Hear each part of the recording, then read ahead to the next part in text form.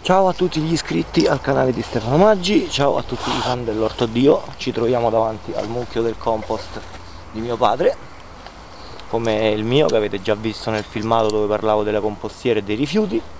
Sono venuto da questo di mio padre perché ha più anni e quindi ha più roba, perché ecco vedete il compost, qua ci buttiamo la roba della cucina, bucce d'arancio, cenere, erba tagliata, di tutto di più e quindi è un modo per non inquinare ma a che serve il compost? il compost è un ottimo substrato è un terriccio fantastico.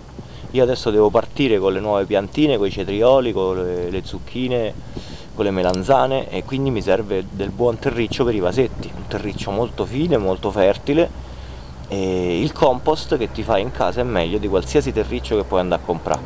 Non è un concime, lo puoi usare come concime ma non è un concime, è un substrato perché un concime tu non lo puoi usare puro. La cacca di mucca se la usi pura le piante non crescono.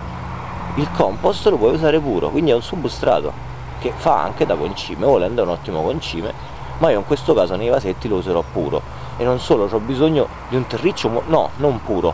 Puro lo mischierò con la perlite che così almeno permetterà alla terra di non compattarsi manterrà più sia l'acqua sia l'aria e per le piantine appena nate uso la perlite e mi serve il terriccio buono.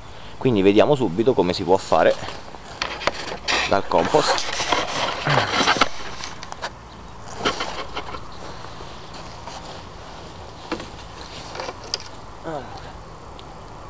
Abbiamo bisogno della nostra forcina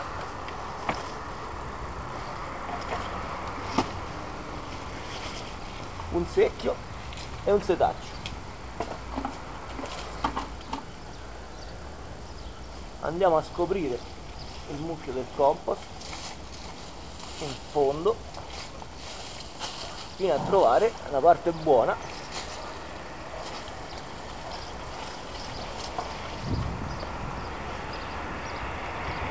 Che è questa? Che è questa parte qua.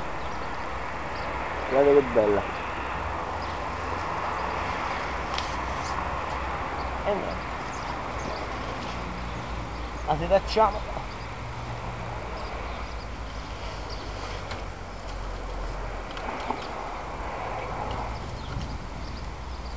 per a vedere una cosa molto semplice.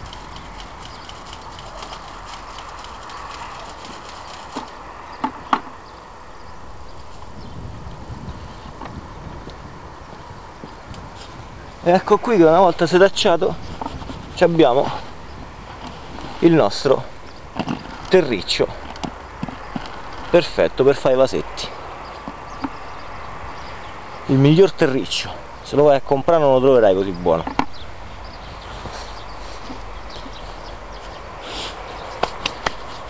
Ciao belli il filmato è finito